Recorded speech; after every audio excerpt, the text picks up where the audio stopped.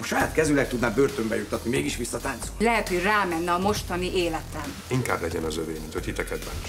Szerinted tényleg kinyírna minket? Nem akarják zárolni Faragó vagyon. Pedig megkapták a hangfelvételt is. És meg is hallgatták, hogy fehér életveszélyesen megfenyegeti Faragó Meritát. Én nem fogok ehhez asszisztálni. Jó, ezt most hogy érted? Úgyhogy inkább nyugdíjba vonulok. Keresztbe tesztek nekem, vagy visszavonjátok a pályázatot. Kirukatlak az egyetem. Jóban rosszban. Ma este a Super TV 2-n.